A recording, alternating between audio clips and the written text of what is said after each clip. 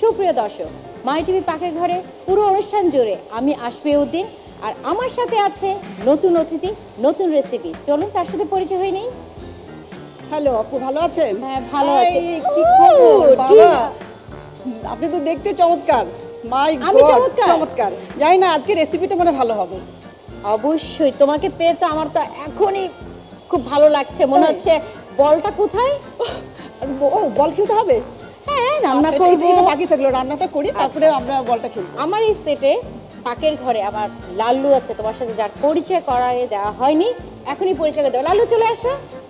আসসালামু আলাইকুম আন্টি। লাল্লু ভাই আরে আরে লাল্লুকে আমি তো সবসময় মাই টিভিতে দেখি। তুমি লাল্লু? হ্যাঁ আমি Wow, লালু এ তো দারুণ। ধন্যবাদ আন্টি। আন্টি একটা কথা আছে আমি কিন্তু আপনার ভক্ত। তাই কি? হ্যাঁ, আমি আপনার খেলা দেখছিলাম অনেক আগে ফুটবল খেলা। তাই? হ্যাঁ, আমি এই জন্য আপনার অনেক বড় ভক্ত আর আমি অনেক এক্সাইটেড আম্মা আজকে আমার আপনার লগে আনি পরিচয় করে দিতে আইনে আইনে আইনে চলবো না। আগে আন্টির পরিচয়টা দিয়ে দেই। হ্যাঁ হ্যাঁ হ্যাঁ অবশ্যই। তোর পরিচয়টা দিয়ে। আমি রিহানা পারভিন সাবেক জাতীয় দলের খেলোয়াড়। আমি তিনটি event international player handball football kabaddi. এখন ফেডারেশনের কর্মকর্তা হিসেবে আছি। আর আমার এখানে স্পোর্টস একাডেমি আছে এটা করছে। আমার একটা এনজিও আছে অপরাজয় বাংলাদেশের। আমি সুবিধাবঞ্চিত ছেলেমেয়েদের নিয়ে কাজ করি। ধন্যবাদ। বাহ। সুন্দর সুন্দর। অনেক সুন্দর। লাস্টের বিষয়টা অনেক ভালো লাগল। সুবিধাবঞ্চিত ছেলেমেয়েদের ছেলে মেয়েদের নিয়ে কাজ করে। এটা আসলে আমাদের দেশের জন্য একটা পাওয়া আচ্ছা আসলে বিশাল পাওয়া। আপু আজকে আমি কিন্তু পালং চিংড়ি একটা রান্না করব এটা বরিশালে? হ্যাঁ বরিশালের। তুমি তো বরিশালের মানুষ না? না আমি আসলে রান্না করতে তো বরিশাল নোয়াখালী যশোর রংপুর লাগে না। রান্না যেমন তেমন করতে বাবা তো আমি খুব গুণী। এখানে কি কি আছে তোমার?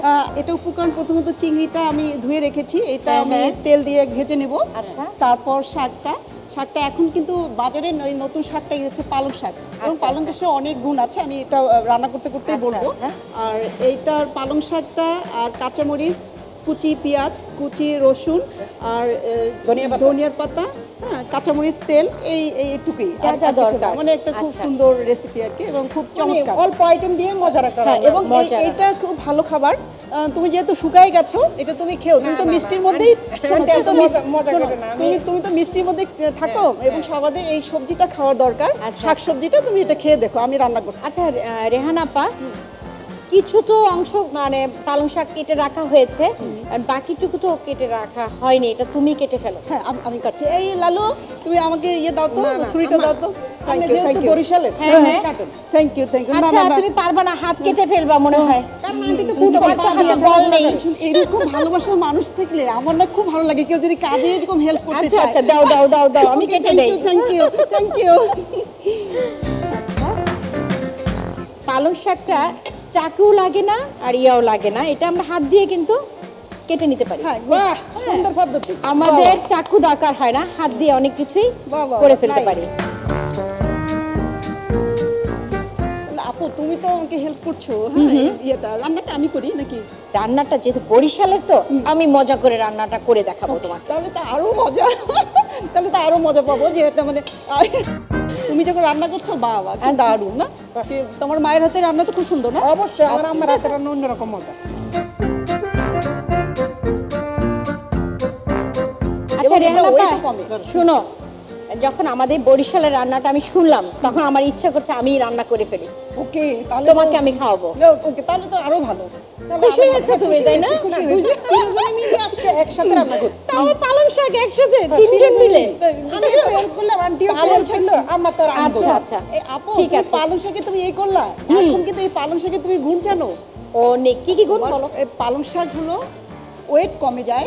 তারপরে তোমার হলো যে অনেক স্বাস্থ্য থেকে রক্ষা পাওয়া যায় এবং এই শাকটা এত টেস্টি অন্য অন্য শাকের চেয়ে শাকটা খুবই ভালো। ও তাই? খুবই ভালো এই আচ্ছা, শাকটা। আচ্ছা। এবং এটা সবসময় পাওয়া যায় না এই যে শীতকাল আসছে এই শাকটা আমরা তাজা তাজা- তাজা এই শাক রান্না করে খেতে অনেক মজা হবে। আপুর জন্য এই শাক আচ্ছা তাহলে এখন চুলাটা জ্বালায় দাও। ওকে কোনটা? এটা না এটা? চুলাটা এটা। এটা জ্বলছে হ্যাঁ জ্বলছে হুম হ্যাঁ। তুমি আমাকে একটু হেল্প করো। হ্যাঁ। পানি দাও। ওকে। কতটুকু দিতাম আমার পুরোটা দিয়ে দাও।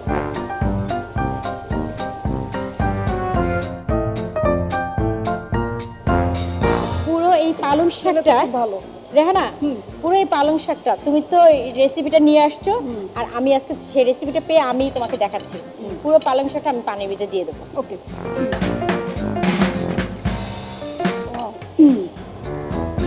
বাহ সহজ একটা রেসিপি আমরা আজকে শিখতেছি। আম্মা এবং রেহানা আন্টি দুজনের কাছ থেকে।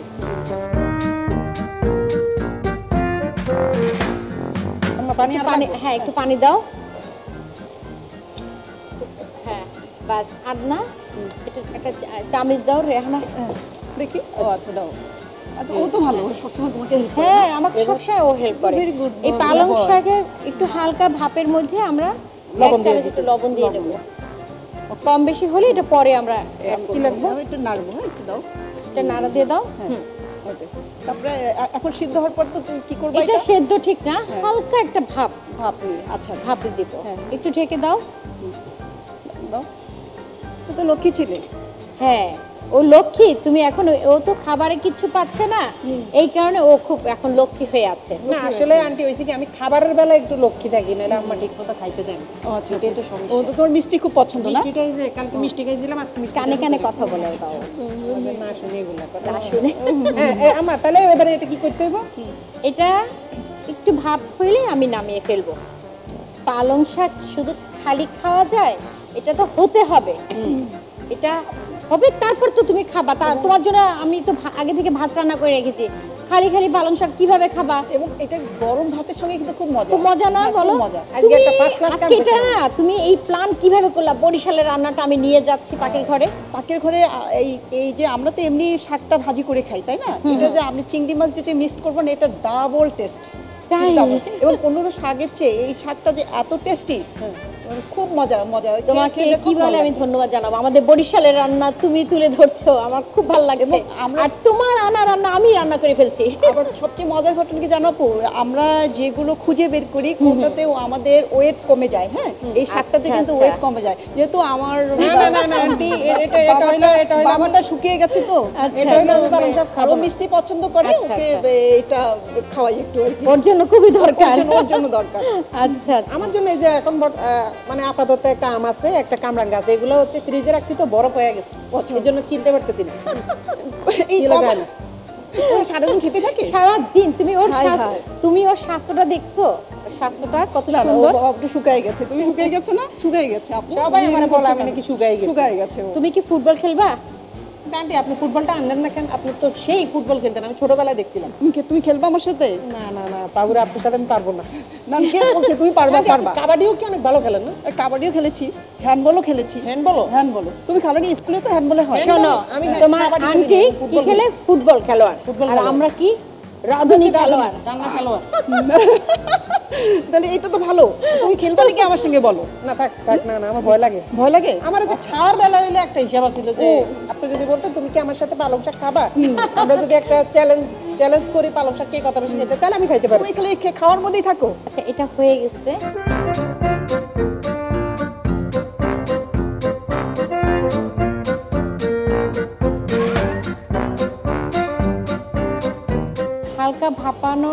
আমি এটা একটু হালকা একটু চেপে চেপে দেখো হ্যাঁ হ্যাঁ, হ্যাঁ এভাবে করো তো তুমি,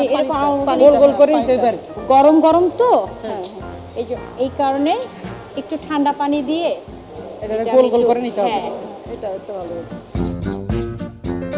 আচ্ছা আমার এটা কি মানে আপনি কি লাড্ডুর মতো করবেন নাকি? হ্যাঁ লাড্ডু। এটা দেখতে এটা কি মজা। আর চিংড়ি মাছটা? চিংড়ি মাছটা দিয়েই তো আমি এটা রান্না করব। ও। আমরা তো আসলে না আমরা তো সবসময় মিষ্টি খাওয়াই মাংস খাওয়াই এই জিনিসগুলো চলে বেশি। এই সত্যি সত্যি মিষ্টি খায় মা? হ্যাঁ, আমরা সবসময় মিষ্টি খাওয়া কিন্তু আজকে আমার বয়ে মিষ্টিটা লুকালে চাই ও, আচ্ছা, আচ্ছা, আচ্ছা, কি বলছো আমার নামে? না আমার ওই যে আমরা বলতেছি আজকে মজা হইবে এটা।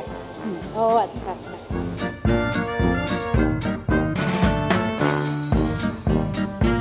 এই পালং শাকটা সরষের তেল দিয়েও মজা হবে সয়াবিন দিলেও মজা হবে। আমি সরষের তেল দিয়ে সরষের তেলটা ইউজ হ্যাঁ এটাই। যেহেতু এটা, শীত হ্যাঁ। তো শীতে। আমি একটু হেল্প করি হ্যাঁ? হ্যাঁ এখানে আমি একটু পেঁয়াজটা একটু বেশি করে দিব। হ্যাঁ পেঁয়াজ কুচি হ্যাঁ তেলটা গরম হোক।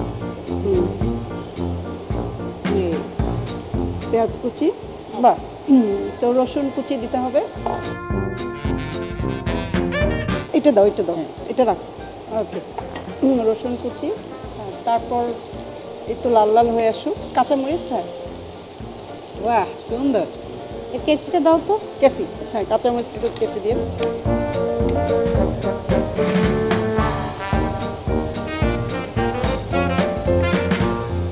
বেশি দিয়ে না আমার হয়ে যাব পরে। ও ঝালই তো মজা। আজকে মজা। আমার সবসময় আমি কম খানা লাই বুঝছেন? আন্টি একটা জিনিস করে জাল দিয়ে লাই। ও আচ্ছা আচ্ছা মানে জাল দিয়ে কম খাই। ও আচ্ছা তাই তুমি কম খাও না? এই জন্যই তো শুকিয়ে গেছো তুমি। দেওয়ার কারণে হ্যাঁ আসলে তোমার মা এত কম খাও থেকে তোমাকে এত শুকিয়ে ফেলেছে। আমার খুব মায়ের, সব দোষ মায়ের। ও এত শুকিয়ে না গেছে। তোমার সাথে না, না দিয়ে না। দেবো না দিয়ে না দিয়ে অনেক দিয়ে দেবো বাপু এবার একটু একটু লাল লাল হয়ে আসুক তাই না? আমি তো যখন হালকা একটু ভাব দিয়েছি তখন কিন্তু একটু লবণ অ্যাড করেছি। হ্যাঁ, এখন একটু একটু লবণ। ওকে চামিচ দাও তো আমাকে। কোনটা? ছোট্ট চামিচ। আচ্ছা, আমি আগে চিংড়ি মাছটা দিয়ে দেবো। একটু এখানে পেঁয়াজ আর চিংড়ি মাছটা খুব বেশি দিলে না পালং শাকটা একটু মজা হয়। চিংড়ি মাছটা আগে আগে ভাজিয়ে যাব আমি উঠাই আগে একটা দিবেন আন্টি আমার বুঝছেন? আগে একটা খেয়ে টেস্ট করব। সামান্য একটু হলুদ।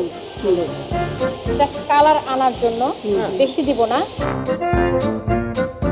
সব গুণ কিন্তু তোমার আম্মু আম্মা, বুঝছ? হ্যাঁ। আমিও দেখে দেখে না কালারটা আমি আমার পরিমাণটা দেই। বললেন না আচ্ছা, চিংড়ি মাছ ওই যে আমরা চিংড়ি মাছের রসটা ফালাই আর একটু হ্যাঁ। হলুদ লাগবে? না আমি আচ্ছা, কালারটা রাখতে চাচ্ছি। ওকে ঠিক আছে। হ্যাঁ সুন্দর। নেপালিরা কিন্তু নেপালিরা আমরা যখন খেলতাম বুঝছেন ইয়েতে তো আমরা যখন হোটেলে ছিলাম তখন ওরা বলছিল যে ওদের জন্য রান্নাটা একটা সবজি করতো সবজির মধ্যে হলুদটা দিত না। তাও যে কি ব্যাপার নেপালিরা কি হলুদ খায় না? ওই জন্য ওদের ত্বকগুলো খুব সুন্দর থাকতো। আমরা তো হলুদ মরিচ সব কিছুই খাই ওরা না ইয়ে খেত হলুদ খেত না। সাদা সাদা করে খাই সাদা সাদা করে আমি খুব অনেক বেশি দিইনি কিন্তু। হ্যাঁ সুন্দর। কালারের হ্যাঁ, জন্য এবং কালারটা খুব সুন্দর হয়েছে। তুমি একটু ভালো করে একটু নাড়াচাড়া করে ফেলো। আমরা বেশি এটা চুলায় রাখব না। তাহলে আমাদের কালারটা নষ্ট হয়ে যাবে। পালং শাকগুলো দিয়ে দিচ্ছি।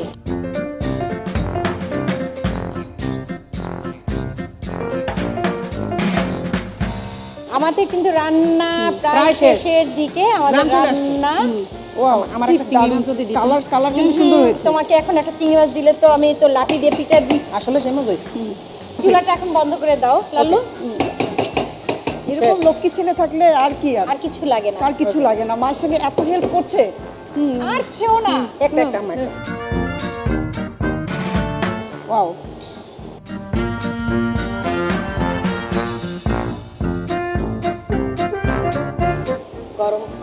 আমার ভাত একটু কম হয়ে গেল না? না না আমার ভাত কম হয়ে গেছে। তুমি আর কত খাবা? বাহ সুন্দর। গরম ভাত দুমা উঠতে আছে। একটু একটু হ্যাঁ উঠতে এটা গরম ভাতের সঙ্গে এটা কিন্তু মজা। খুবই মজা এটা জিনিসটা। পাকের ঘরে প্রতিদিন আন্টিরা এসে এসে রান্না করে। আম্মা খুব কম রান্না করে। আচ্ছা আজকে অনেকদিন পর আম্মা রান্না করছে। একদম পেট ভরে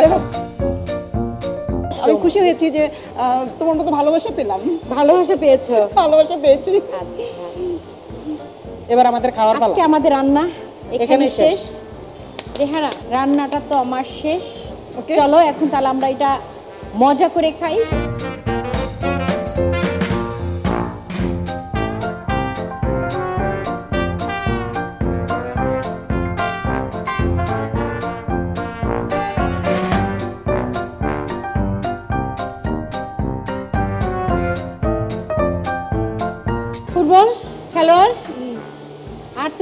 থাকল না। আমরা খেলোয়াড়কে কষ্ট দিলাম একটু কম আমি কষ্ট করলাম। হ্যাঁ, আজকে রেসিপি তার রান্না করলাম আমি। আমার। এটা কোনো হলো? লাভ ইউ থ্যাংক ইউ তাইলে আম্মা যেহেতু কষ্ট করে রান্না করছেন এখন খাওয়ার পালা। এখন আমরা খাব। আমি আমি রাইস কিন্তু খুবই কম। আমি আমি আমি হ্যাঁ, হ্যাঁ, পরিবেশন করি এই লাস্টু হ্যাঁ। দেন আন্টি আ- আগে দেন।